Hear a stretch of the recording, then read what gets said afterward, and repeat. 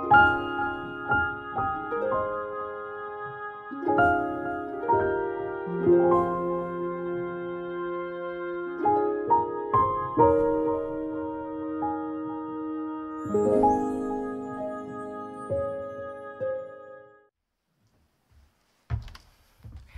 morning, everyone. Welcome to uh, Celebration Church. Uh, also for those in person, but also for those who are on the, the, uh, the Zoom call. Usually we have about 10 to 15 people. Uh, it's hard to believe it's August already. We're, you know, the summer is, I guess, more than halfway through. It's our first August. And um, yesterday we had a really great time. We had a men's group walk. About 10 of us got together at the uh, Markham uh, Bob Hunter Memorial Park, and we went for a, a, great walk, chance of fellowship, and a chance to talk. Uh, we had this discussion about regrets and um, how what we learned from it and how God changed us, if we had any regrets. And uh, it was really a, a great time, and, and, and, a lot of us, a lot of regrets that we had in our lives, we talked about, actually were turned into something good in the long run. But it took time in our lives, but it was just a wonderful discussion. And, and I hopefully you can join our men's group uh, next time. We do our activities. Uh, I just want to um, also let you know that uh, our speaker today is Dr. Eric Leung and uh, he'll be uh, speaking, and I'll introduce a little more of him later. Uh, yesterday was uh, was really hot. I was actually we were up north at someone's cottage up in uh, the Barrie area, and there's a lot of farms around. It was actually so hot that the uh, the cows on the farm were giving evaporated milk. That's how hot it was. all right, sorry. Anyways, I'm here all week. Anyways, okay. So um, the and just to also let you know, next week the um, is, is a big week because we're going to have the Matthew Lou barbecue and also the fun day. So, so this is the last Sunday before that. One good thing about the heat is it looks like the grass is all dead, so we don't have to mow it this week. So that's one positive thing. But we're going to have lots of games and lots of fun, and I'll tell you more about that at the end of service. So um, uh, join me now as we, uh, as we uh, do our, our call to worship. It's a responsive reading. The sacrifice that honors God is a thankful heart.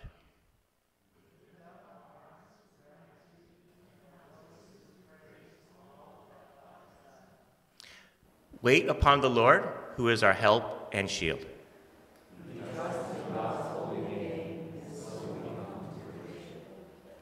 Thank you, and may the Lord bless this reading. Join me now as uh, we pray our prayers of adoration. God of promise and purpose, through Jesus Christ, you have called us to be your people and given us a purpose for our lives each day. We gather and worship today to be renewed, to live out your purpose in the week ahead. We seek your wisdom and guidance to lead us through the choices we face and the challenges that surround us.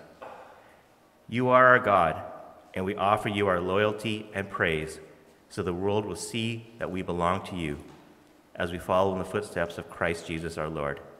Amen. I'd like to introduce the uh, praise team. And we have uh, Danny Chow, Dylan, Eric, and Alicia. So we got a, a full ensemble today, so it's really great to have. Thank you very much for all your hard work this week. Welcome, everyone. Yeah, this, this team, is, it's great. I'm, I'm very pleased that um, we have the younger generation in the worship now, um, and uh, all the way up to my age, which is up there.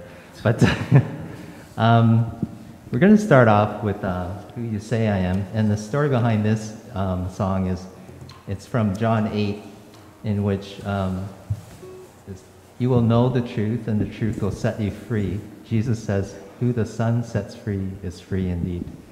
So, if you're able, please stand as we sing the song.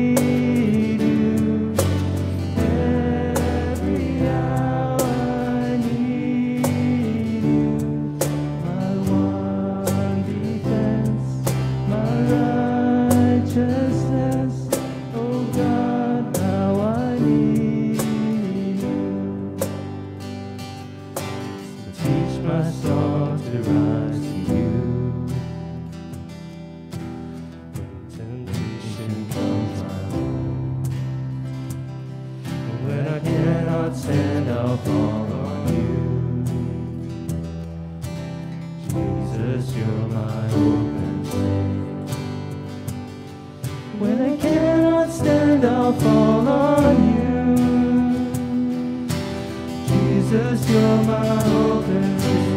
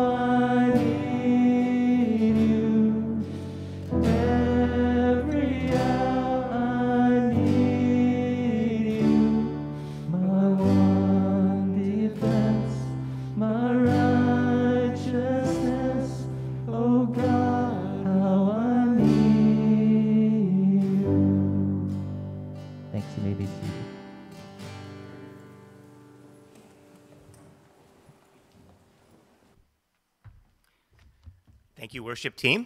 And uh, the children can uh, go to Sunday school with your teacher, uh, Auntie Judy, in the back room. If there are any kids, I'm not sure. okay, so um, today, today's scripture reading is uh, Esther 4. And uh, it, it is a long reading, but it is very important, and it'll set up uh, uh, Eric's uh, sermon. So please join me as we read. When Mordecai learned of all that had been done, he tore his clothes, put on a sackcloth and ashes, and went out into the city, wailing loudly and bitterly. But he went only as far as the king's gate, because no one clothed in sackcloth was allowed to enter it. In every province to which the edict and order of the king came, there was a great mourning among the Jews, and fasting, weeping, and wailing. Many lay in sackcloth and ashes. When Esther's eunuchs and female attendants came and told her about Mordecai, she was in great distress. She sent clothes for him to put on instead of his sackcloth, but he would not accept them. Then Esther summoned Hathak, one of the king's eunuchs assigned to attend her, and ordered him to find out what was troubling Mordecai and why. So Hathak went out to Mordecai in the open square of the city in front of the king's gate. Mordecai told him everything that had happened to him, including the exact amount of money Haman had promised to pay into the royal treasury for the destruction of the Jews. He also gave him a copy of the text of the edict for their annihilation, which had been published in Susa to show to Esther and explain to her, and he told him to instruct her to go into the king's presence to beg for mercy and plead with him for her people. Hathak went back and reported to Esther what Mordecai had said. Then she instructed him to say to Mordecai, All the king's officials and the people of the royal provinces know that for any man or woman who approaches the king in the inner court without being summoned, the king has but one law that they be put to death unless the king extends the gold scepter to them and spares their lives. But 30 days have passed since I was called to go to the king.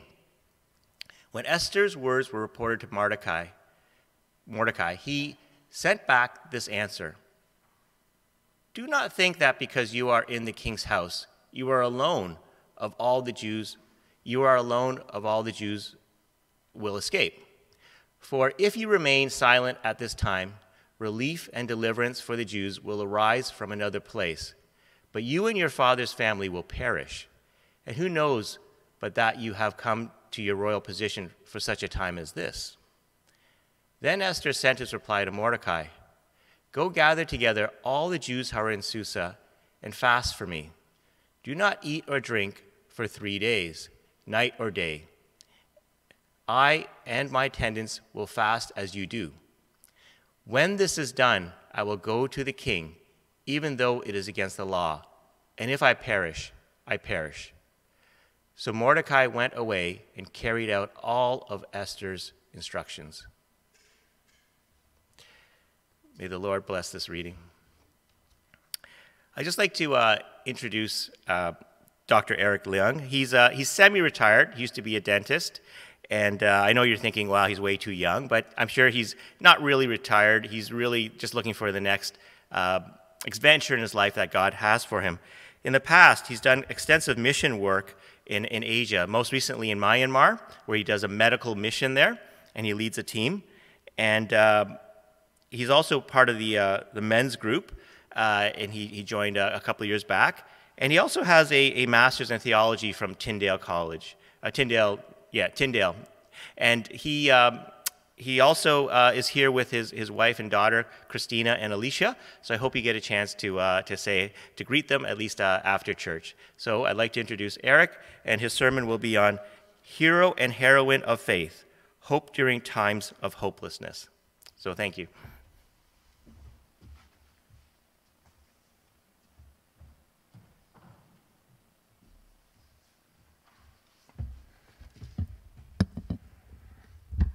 Okay. Uh, good morning, everybody. Uh, the mic's okay? This one's kind of wobbly, but it's okay? Yeah? Okay.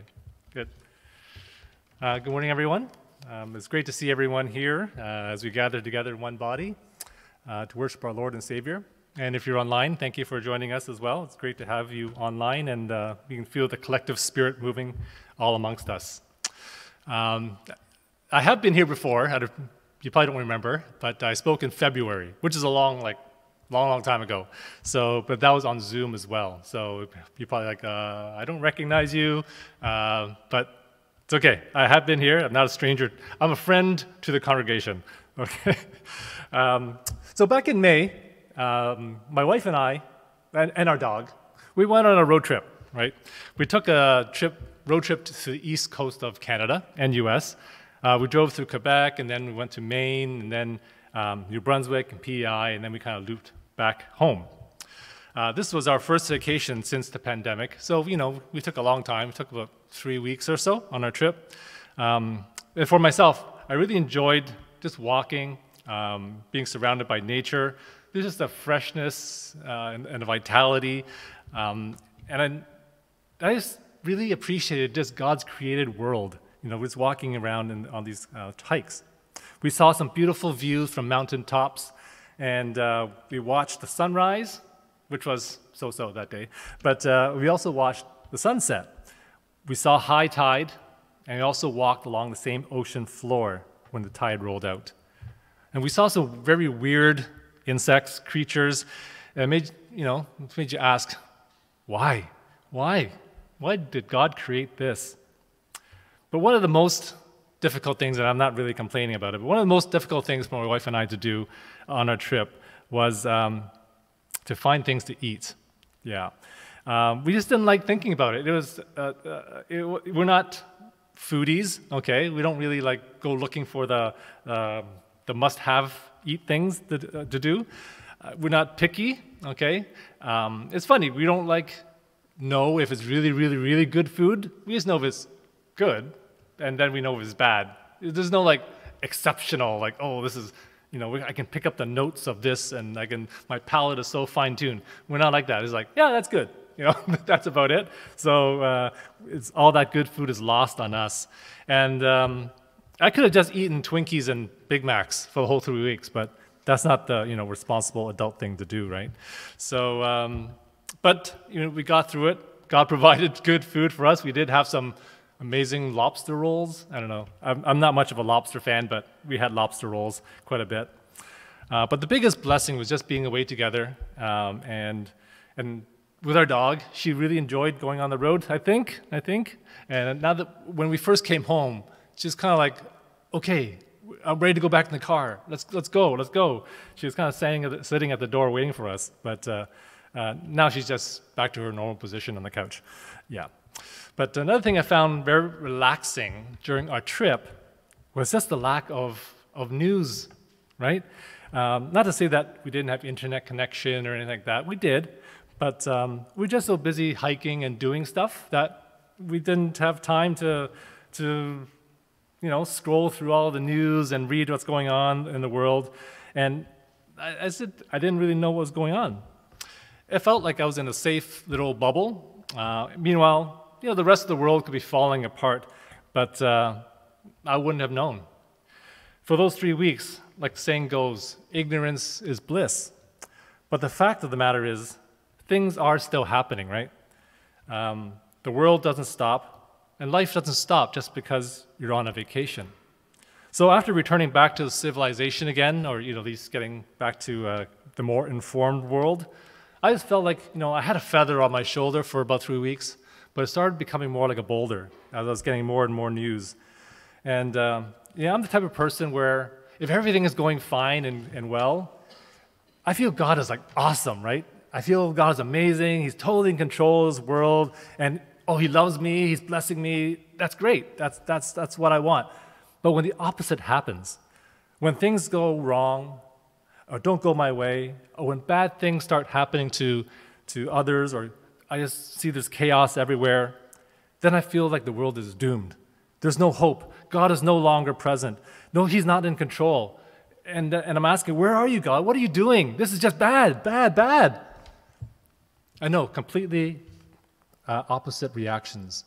And, but this is what goes on in my irrational mind.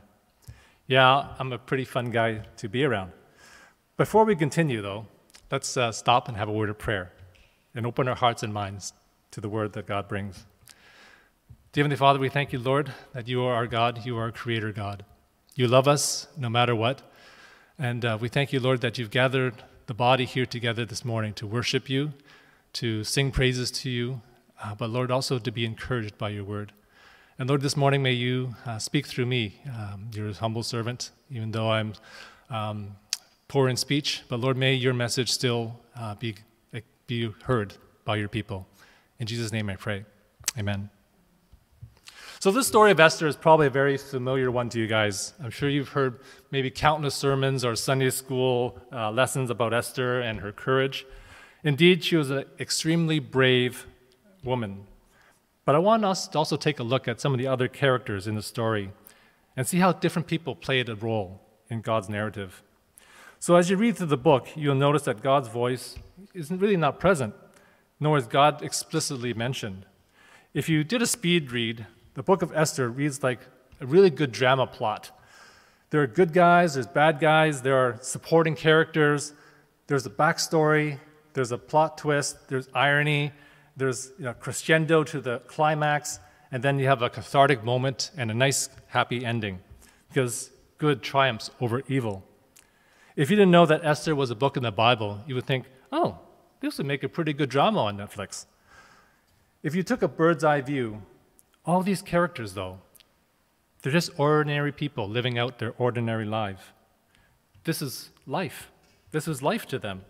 This wasn't a story like where David was, you know, slinging a stone and killing a huge giant Goliath. This wasn't Elijah challenging the, the followers of Baal to a death match. This wasn't Abraham taking his son up the hill for a sacrifice. This wasn't Moses talking to God on Mount Sinai or accepting the tablets or Moses leading the Israelites out of Egypt. This wasn't Noah being told to build this incredible boat and, and, and to survive this flood that was coming. Nor was this Daniel surviving in a lion's den. There was no appearance of heavenly creatures, no voices from heaven, no massive infestation of insects, no bodies of water splitting in half, no fire, no smoke, no thunder, no lightning, no earthquakes, there wasn't even a whisper. You would be justified in asking, why is this book in the Bible? Was God even present? If this story lacked miracles, what the story doesn't lack are people of faith that made decisions about life with the best information that they had at that time and with an absolute trust in God's sovereignty. That's the reason why this story is so relevant and so impactful for us today. Isn't this just a mirror of our own everyday lives? Now, I've heard countless prayers and I've prayed countless times asking for God's guidance in making decisions. You know, you've heard like, oh, God, what sh- you know, what school should I go to? Should I take this job? Should I date this guy? Should I date this girl? What, you know, stuff like that. And none of us see the future. And all of us wonder if the choices we made were they the right ones? Sometimes we look back and say, oh, that was the best choice I ever made. Or, oh, I'm just glad that worked out. Or sometimes you're like, oh, what was I thinking? And sometimes you're like, oh, that was bad. I shouldn't have done that. On some days, we just have to wonder Dear God, where are you? I prayed and I prayed, but I don't hear you. How can I have faith I don't even know if you hear me? Have you been there? Have you had those moments? I think if we're honest and open about our relationship with God, we have to admit that there are times that we wonder if God is present, if God is working, if God hears, if God cares, if God has a plan for any of us through all this craziness that's going on. So this message is not a this message is a message not just for you to hear, but it is also a message for me to remind myself as well. Just because I'm up here speaking to you doesn't mean that I have it all figured out. And just and somehow, you know, pastors or preachers, they're they're they're immune to the struggles. We struggle just like everyone else. However, let's remember that at the end of the day, God does speak, God does act, and there's hope in this world for everyone as long as we remind ourselves of God's character and his promises. So, enough of me rambling on. This is the build up, right? This is the ramp up to the, to the main points here. So, let's jump back and let's jump into our story about Esther and Mordecai. So, in the first chapter, you know, we read about King Xerxes of Persia. So, he's throwing this huge 180 day bash uh, for all his top officials. We don't know why he was doing this. You know, maybe he, you know, is uh, celebrating his third year of reign. Maybe he just conquered some new land. Uh, maybe he just, you know, he could. Maybe because he could. So, anyways, he was having this big party, and uh, during this party, you know, he's feeling pretty good. You know, he's got like, he's probably all drunk, um, and uh, he comes up with this idea. He wants to call out his queen and say, "Oh, you know, Queen uh, Queen Vashti, why don't you come out and uh, show yourself to my um, to my to my entourage? I don't know, to my people. You know, I, want them to see my trophy wife." Um, so, but she surprises them or disappoints them or both, and she refuses. She says, "No, I'm not coming." And um, well, then all the all the guys, all the court officials, and him, they're all like, "What? What? You can't let her do that to you. You can't let her do that. She just rejected you. You have to do something. What if my wife does the same thing to me at home? You can't have that." So they put a, all their collective brain power together, and they hatch up this decision yeah, she's fired. Let's get rid of her. All right? This, she's no longer Queen Vashti. So a little bit down the road, so that's end of chapter one, all right? So a little bit down the road, you know, King Xerxes is sitting on his throne, you know, he's looking over, he's like, oh, there's no one there. There's no one there. Like, oh yeah, right. Queen Vashti, I got rid of her. So I need to find myself a new wife. Yeah, yeah, yeah. So he calls his people together once again, his uh, most trusted advisors, and they come up with this great, groundbreaking idea. They're going to come up with the Bachelor, the Bachelor BC, Bachelor BC, so that he could pick a new queen from all the ladies of the land. So in the end, he chose this beautiful orphaned and displaced Jewish woman named Esther, who was raised by her older cousin Mordecai. Now, the story goes that out of all the girls in uh, this edition of The Bachelor BC, Esther's charm, her personality, and her natural beauty were, were enough to win the favor of her handlers and also enough to win the heart of our dear King Xerxes. So she didn't need to scheme, she didn't need to you know, plot all this evil stuff, she didn't have to show off her juggling skills to catch the king's eye. Her road to the rose was silky and smooth. But through all this, Mordecai instructed her to keep her Jewish background silent. We don't know why he told her to do this, but it will play a big role down the road. So, okay, so we met King Xerxes, we met, now we met Queen Esther. Now let's go to her older cousin, Mordecai. Okay, so you met these two, and we're going to meet Mordecai. So the story continues. So Mordecai was sitting at the gate, King's gate one day, and he's just minding his own business when he overheard uh, an assassination plot by two of the guards. So they wanted to knock off King Xerxes, okay?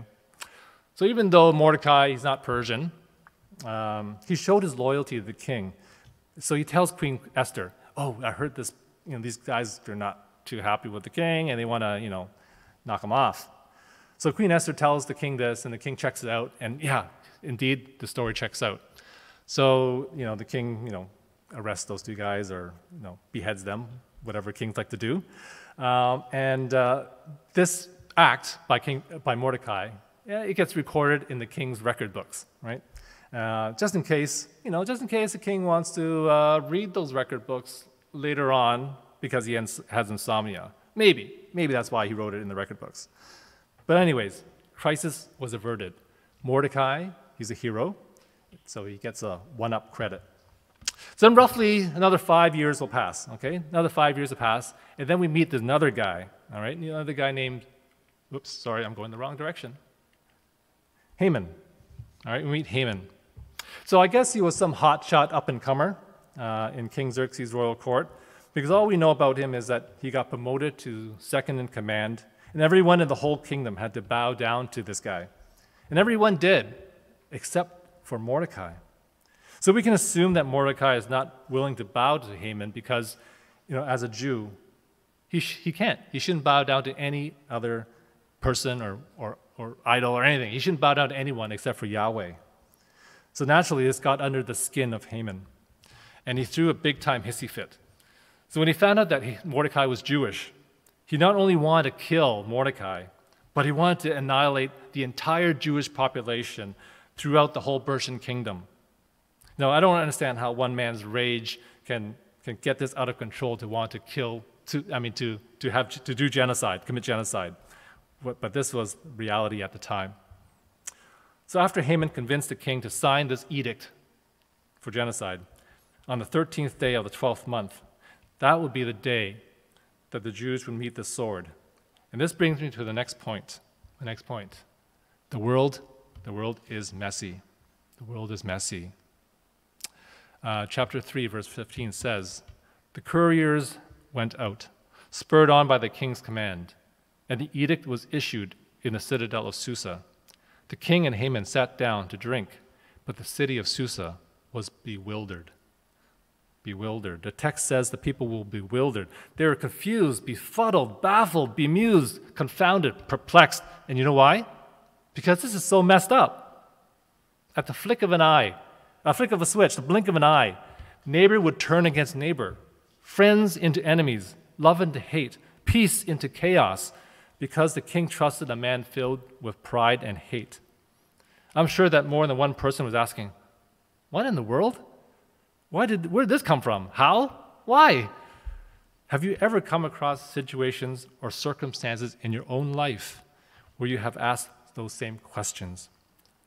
All of a sudden, your world gets turned upside down, or the world just doesn't make sense anymore. We live in such a world right now. Why are there wars?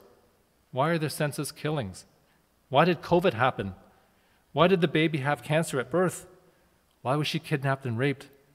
Why did the whole family die in a house fire? Why did that car accident happen? Why did I lose my job? Why do I suffer from depression? Why did she have that miscarriage? I can go on and on and on. It is hard to find an answer to these questions, but this is life. Sometimes life feels like riding the crest of one wave until we meet the, until the depression of the next one. And we ask, why? Why, God? Where are you, God? Sometimes, and maybe a lot of times, things don't make sense. Sometimes things seem like they are just haphazard, random events, all thrown together to make up what we call life. And this makes us wonder hey, God, what's your plan in all this? You do have a plan, right?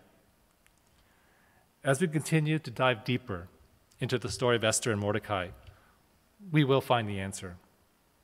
And thank you to David for giving us that dramatic reading of chapter 4. But I hope that you could tell that the suspense was building, is intensifying as he read on. There was great distress amongst the Jews throughout the kingdom, and all of them tore their clothes, put on sackcloth and ashes, and wailed and cried. This outward sign of uh, mourning and wailing was they, pro- they wanted to protest they wanted to tell God that they weren't happy with this. This is something had to be done. And they did this in times of distress. This is what Jews, uh, Jewish people did. But the funny thing here is that Queen Esther had no idea what was going outside of her, of her palace walls. First, she didn't know her cousin was mourning or even why. Secondly, she didn't know that there was an edict against her own people that her husband had signed into effect. Her life inside the palace was pretty isolated, which was nice for her, but not so good for anyone outside of her bubble. And sometimes our lives can look a lot like Esther's if we choose it. We can choose to live inside a gated community. We can choose to live on an island. We can choose not to be aware of society or the needs of others. Yes, these are all things within our power to choose. But is that what God has planned for us? Has He planned for us to sit idly by, waiting for someone else to do something? Imagine this is a caricature of our Christian life. You know, we accept Christ as our Savior, and that's, that's awesome because now we have that personal, reconciled relationship with God. After that, we just want to live the most safe and comfortable life there is. We don't take any risks for God. We don't do anything extraordinary. We try to stay within the boundaries, and we don't take chances. Is this the path that Esther and Mordecai are going to take? Well, let's keep digging. So, after Esther receives uh, the news about Mordecai and his edict, she was heartbroken, heartbroken to see her cousin like this. But Mordecai would not sit idly by, just waiting to die. So he instructed Esther to go to the king and beg for mercy and revoked the edict. Obviously, this is not an easy task to do. There are rules and laws that even the queen must follow. And if the king didn't call you to see him, you could lose your life if he wasn't too happy to see you that day. He might welcome you, but if he's in a bad mood or something, you'd be off with your head. So Esther's exact words to Mordecai were, But 30 days have passed since I was called to go to the king.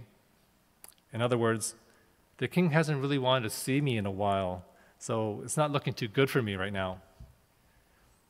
So I can understand Esther's response. It's a life and death decision. Let's assume she has never had to make such a decision like this before. This is definitely like jumping off the deep end with a little rubber ducky preserver. If you played it safe your whole life, and then you suddenly got asked to risk your life, I can understand that this was a decision you would rather not have to make. But Mordecai pushed back, and he said, Do not think that because you are in the king's house, you alone of all the Jews will escape. For if you remain silent at this time, relief and deliverance for the Jews will rise from another place, but you and your father's family will perish. And who knows that you have come to your royal position for such a time as this? Mordecai's response was amazing for a few reasons. First, verse 14 demonstrated his faith in God's providence. It says, For if you remain silent at this time, relief and deliverance for the Jews will arise from another place. So even though he was faced with impending death, he had trust that God would save him. Sure, he wailed and mourned and cried, but he did not despair. Through all the darkness and impossible odds, Mordecai had faith that God would meet him and come to his rescue. Even if Esther was not going to help, it didn't matter to him. God will raise up another, or God will provide another way out. That brings us to the second key point so have faith in God's sovereignty. God is in control. Have faith in God's sovereignty. God is in control. But sometimes this is hard to see. Sometimes it's hard to believe it's truly, it's true, especially uh, if we are too focused on our own issues and we don't allow ourselves to kind of zoom out, pan out a little bit, and see the bigger picture or the longer timeline. Our lives and our situations are only a snapshot of eternity. Not that we don't matter to God, we definitely do. But God's sovereignty is worked out over a long, long time.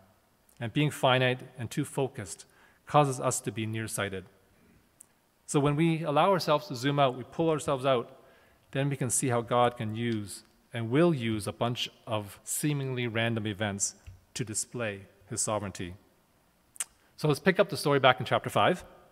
The scene opens with Queen Esther. She's, you know, dressed up in all her royal robes, and she's standing at the entrance to the inner court. And it just so happens, you know, that King Xerxes was sitting on his throne, and, uh, you know, he's thinking about how they got the caramel inside the caramel bar. All right, yeah, I think older people might get it. Younger people are like, what? What's the caramel bar? Anyways, so he spots her out of the corner of his eye. And wouldn't you know it? He extends his golden scepter to her, to her and invites her in. So after Queen Esther let out a huge sigh of relief, like, okay, he didn't kill me, uh, she proceeds into the hall and touches the scepter. So, you know, the king's pretty happy that, yeah, I got this caramel bar thing all figured out. So he says to his queen, So, honey bunch, what brings you around? Just tell your man and I'll, I'll make it happen. To this, Queen Esther replied, Just, just bring you and your, your, your homeboy Haman to my place for a special banquet. Just the two of you. I'm going to prepare a special meal just for you two. So they go. After they arrive, she wines and dines both of them. And, you know, men are kind of dense this way. Right? You give them food, you give them drink, and all of a sudden they're like, hey, yeah, yeah, I'm great, I'm great, I'll do anything for you. But her plan is not finished here. She keeps them hooked. She keeps them guessing. She says, Come back tomorrow. I'll tell you tomorrow what I want. So, meanwhile, through all of this, Haman's feeling pretty good about himself, right? After all, he just took, um, took part in exclusive shindig with, with the king and the queen of Persia, right? Like, who else? But life has a funny way of evening things out. So that night after the banquet, you know, King Xerxes, maybe he's had a hangover, I don't know. But, you know, he had some insomnia that night. Remember? Insomnia. Um, so, what better way to put yourself to sleep than to read from a history book? You know? It kind of works today, too. What better way to put you to sleep than to bring out a textbook? But uh, something interesting happened during the reading. Remember how I said Mordecai, you know, uncovered this assassination attempt back in chapter 2. It turned, and it turns out he never got rewarded for his good deed. Uh, so the king decided that something must be done. Something's got to be done for my, for my guy Mordecai.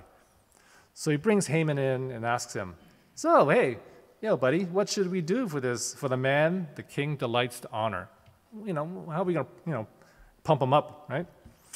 Haman, thinking that the king was about to bestow more honor on him, he says, he says, So bring this is Haman speaking. He goes, Bring a royal robe the king has worn, and a horse the king has ridden, one with a royal crest placed on its head. Then let the robe and horse be entrusted to the one uh, of the king's most noble princes. Let them robe me, I mean, robe the man the king delights to honor, and lead me, I mean him, on the horse through the city streets, proclaiming before me him, him, him, him, this is what is done for the man the God delights to, uh, the king delights to honor. This is what is done for the man the king delights to honor. Yeah, that's pretty impressive. But in a strange twist of irony, the king commanded Haman to do all that he suggested, but not for Haman, but of course for Mordecai, the man that Haman hates the most. So he must now dress him up in robes that, you know, not even Haman got to wear and lead the royal horse around the town, and like a town crier, announce that Mordecai is the man the king has chosen to honor. I can only imagine the rage that was building up inside of Haman.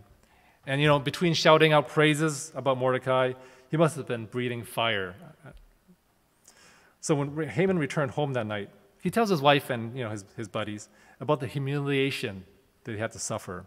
And right away, his wife and, and buddies were like, um, don't know how to break this to you, man, but uh, yeah, you're, you're, you're, you're dead. You're dead. We don't, we don't know you, okay? You, you just go. I can imagine Haman's reaction to something like this, right? He goes like, wait, what? Back in chapter 5, it was you guys that told me to build this 75-foot pole to impale Mordecai. And now, only one chapter later, in chapter 6, you're turning your back on me? His buddies look at each other and go, I don't know, man. You should have thought this out better. Hmm. And just like that, the king's men come to take Haman away to banquet number two. It was nice knowing you, Haman. So at the follow up banquet in chapter 7, King Xerxes asked Queen Esther one more time what her request what her request is. And now that she knew that she had the king's favor, she told him about Haman's plot to destroy the Jewish people. Of course, the king went into this fit of rage and he stormed out of the room. But Haman, sensing that this was all going sideways, he stayed behind to, you know, plead and beg for his life, you know, beg the queen. Say something, Queen Esther. I didn't mean it. I'm sorry. So you can imagine that he was on his hands and knees, groveling in front of Queen Esther. He was probably tugging at her robes or, you know, t- trying to grab her hand or something like that. Um, but somehow he lost his balance and he fell on top of her. And that's the exact moment, the exact same moment when King Xerxes walks back into the room and he sees Haman on top of his woman. And he's like, What? You're trying to get with my woman in my own house? So that was it. The guards dragged Haman away and see you later. And uh, another funny thing happens when they're dragging Haman away. One of the king's eunuchs says to the king, Oh, by the way, uh, FYI, Haman built this really tall pole at his house to impale Mordecai. You know, the guy who actually did something to help you out? Yeah, yeah, he wanted to put him on it. And of course, you know how this ended for Haman. You know, Haman on a stick. So, in the end, because the king couldn't abolish the first edict that he wrote, he had to write a new edict that allowed the Jews to defend themselves against anyone, anyone that attacked them. And it says at the end of chapter 8 that many people became Jews because they were so afraid of their power. But this is not the entire story. You know, you can read the rest of the story at your leisure. So it all kind of worked out for Mordecai and Esther in the story because they trusted in God's sovereignty. In my short summary of the story, a lot of things happened uh, that affected the outcome. You know, Queen Vashti was de- deposed. Esther won the favor of her handlers, who helped her catch the eye of King Xerxes, resulting in her becoming the new queen. So when she won the beauty pageant, no one knew she was Jewish. Mordecai, while minding his own business, just so happened to overhear an assassination plot, and for some reason, he never got rewarded at that time for his act of loyal service. Then Haman came along with his evil plan, but his pride blinded him, causing him to listen to some very bad advice. When Esther took a brave step of faith to visit the king without being summoned, she found King Xerxes was more than welcoming. He was in a downright jovial mood and was willing to give her anything she wanted. So after the banquet, it just so happened that the king couldn't sleep, and he asked for a reading from the book of records. And for some reason, that page opened at Mordecai's heroic deed. And when Haman was at the height of his pridefulness, he was too consumed by anger to see the trap that he was falling into. So, all of these events, taken one at a time, they seem disconnected, but they're all things that worked out favorably. Was this all coincidence? Was it luck? When there is a one off event, I think I, I, I might attribute that to coincidence. But when there's a whole series of events that somehow fall into place, that is not coincidence anymore. I know that in the story we can see how all of these events lead up to the conclusion. But in our own lives, maybe we can't see what the conclusion will be.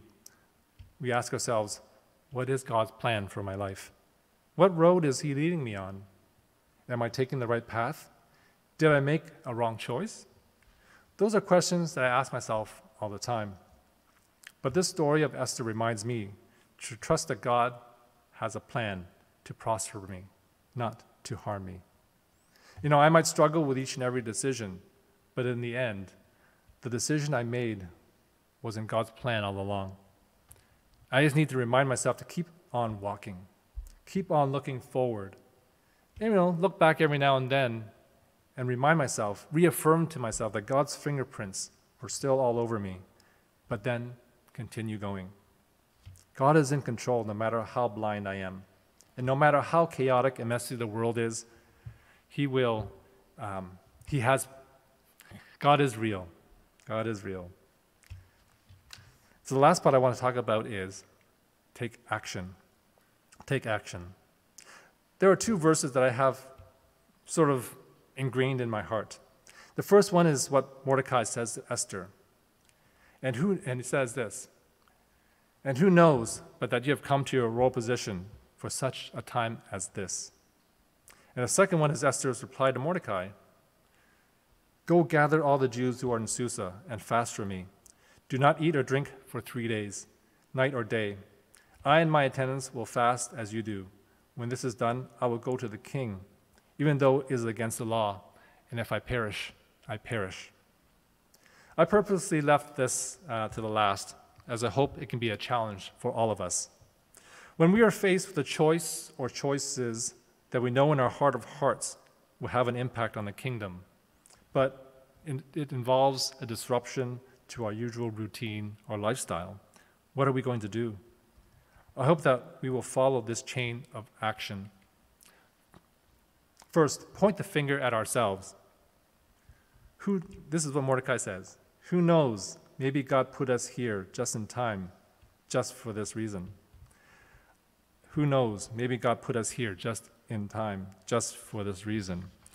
I know that sometimes we look around at everyone else, and we look around at everyone else except for ourselves. We come up with excuses like, I'm too busy. I'm not good at that. Uh, I don't know how to help. So and so is better than me. Oh, that's the pastor's job. That's the deacon's job. I want all of us to just stop, maybe for a millisecond, and let Mordecai's words float into your mind. Who knows that you have come to your royal position for such a time as this? I'm just going to change a few words here. Maybe you don't see yourself as a king or queen or royalty. Who knows? But that God called you his child for such a time as this. Who knows? That God called you his child for such a time as this. Second, let's follow Esther's example and commit to prayer and fasting. Do it yourself and ask those in your inner circle to pray and fast for you as well. We need to seek clear discernment from God or ask for God to go before us. We don't know if God spoke to Esther or Mordecai when they prayed, but he sure opened doors and he made the path straighter for them. Sometimes we act without praying, and sometimes we pray without acting. But let's make that conscious change to pray and act together. Oops, sorry. Last one give it all to God for God. When Esther said these words, they could have been her last words to Mordecai. She said, If I perish, I perish. These are brave and courageous words, but I think she was, she was confident that she would not meet her end there. I think Mordecai's faith in God, which he demonstrated to her throughout her whole life, gave her faith that God was in control of the situation. As long as she made herself available and committed her entire self, uh, as long as she committed her entire self to Him, God was going to work everything out for His glory and according to His sovereign plan. So, as our last review, the world is chaotic.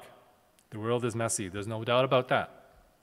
Though we may not see what God's plan is at this moment, we must have faith in His sovereignty and providence and we must be willing to be partners of action with God. So, as we end today, I'm going to show a short video clip uh, from Francis Chan. It's pretty old, a little bit blurry, uh, but I think you probably have seen it at one point or another. It's from 2006, but it's a good challenge for all of us. So, let's hope it works.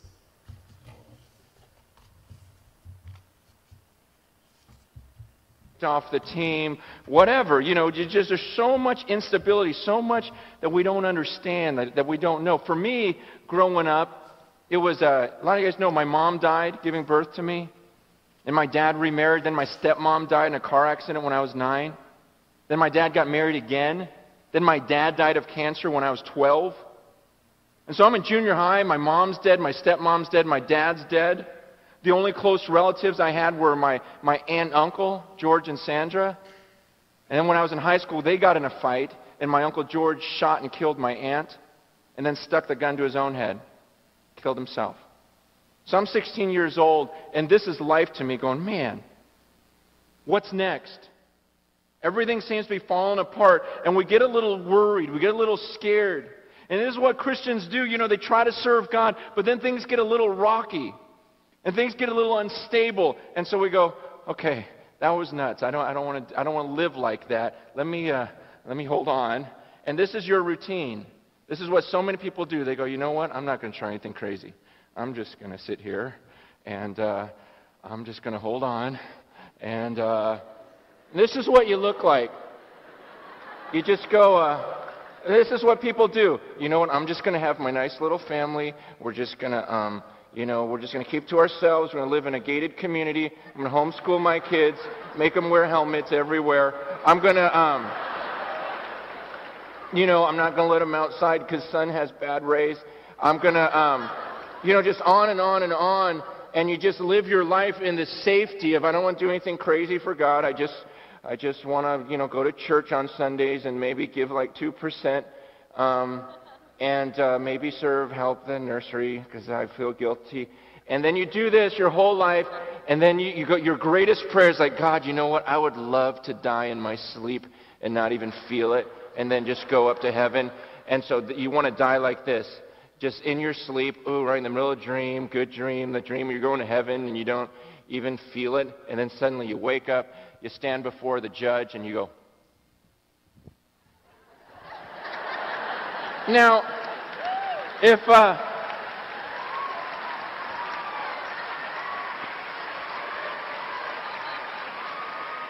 could you imagine? Could you imagine watching the Olympics? You know? And some girl does that, just gets up there, starts straddling the thing, and then steps off and goes, What is the judge supposed to do on the card? You see, and to me, I go, man, that's the routine that so many Christians are headed for. That's the routine, the boring, I do nothing crazy because I don't want to fall. I, I, that's the routine that they're going to live, and then one day it's going to be a shock because they're going to step off that balance beam and realize they're standing before the judge. They're standing before the judge, and you think he's going to look at that routine and go, wow, well done. Well done. You lived the safest life possible. You didn't slip, you didn't fall. See, that's not the life that God's called us to. That's where the majority will head, but I don't want to go where the majority goes.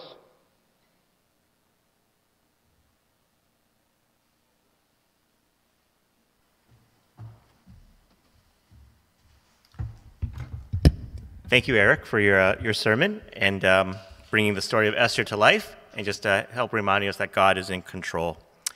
Join me now as we do the offering. Uh, as, as everyone knows, we can do it online if you're on Zoom with the links, or you can uh, use the actual old school uh, plate by the door if you would like. So thank you, Lord, for this, um, these funds, Lord, that we can give back to you. And uh, we pray that you will use these for your kingdom uh, and to spread uh, your word and just to just to bless these these these this offering, Lord, and and use it as you see fit. Amen. Uh, just join me now as we uh, as we pray for our do our prayers of hope. Lord, thank you for this uh, this time we can pray together as a congregation. I want to lift up the the Matthew Lou barbecue to you right now next week. It's such an important event in our lives and uh, in the lives of the church, in the life of the church as well, as we have a chance to to uh, to remember Matthew and to um, and to really spread the word and to bring our friends and family here and just uh, not just have fun, but also that we can glorify you, Lord, and uh, and just uh, remember uh, Matthew and, and what he meant to us and um, and how important he was and how he's with you now, Lord, but we still remember him here and we miss him, and we thank you, Lord, that we have this opportunity next week. Uh, I pray that the weather will be good and that you'll bring the right people, and that we'll just uh, have a really wonderful time to to share your to share your blessings with with with each other. And uh, and again, I just pray that you will bless this event. I pray also for uh, for for the for the COVID situation. It, it, there's still many people suffering. Um, many people we know, many people we don't know, but there's many people around us who are going through this, Lord. And uh, we pray that you keep them safe and healthy and help them through this, um, this difficult ordeal. And I pray that this, uh, this, uh, this, this illness, this plague will, will eventually come to an end and subside, and we can fully return uh, back, to, uh, to, back to our lives of uh, just, just to focus on you and, and not have to, um, to be so concerned about this, this disease, Lord. And we thank you, Lord, that um, you provided the medicine, the vaccines that we could use to help uh, to stay safe, Lord. Join me now as we do the Lord's Prayer. Our Father, who art in heaven, hallowed be thy name. Thy kingdom come, thy will be done, on earth as it is in heaven. Give us this day our daily bread, and forgive us our trespasses, as we forgive those who trespass against us. And lead us not into temptation, but deliver us from evil. For thine is the kingdom, the power, and the glory, forever and ever. Amen. I'm going to ask the worship team to uh, come up and uh, perform the, the closing song.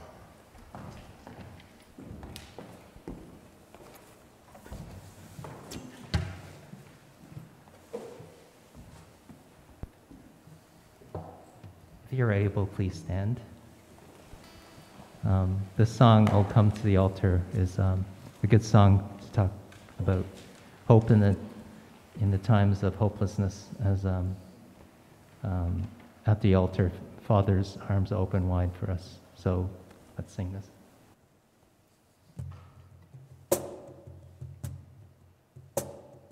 this.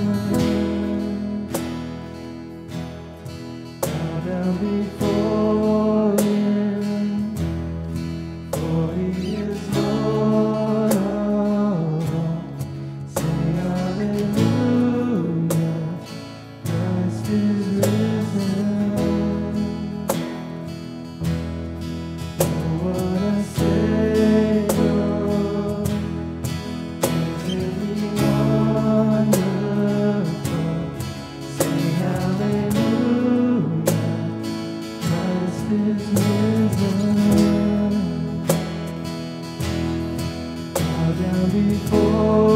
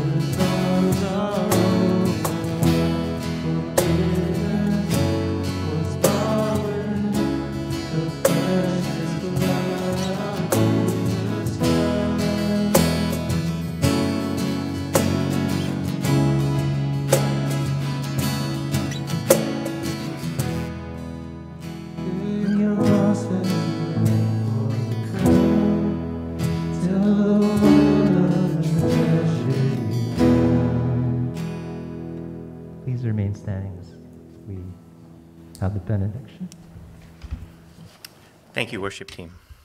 Today's benediction comes from Ephesians 3 20 to 21.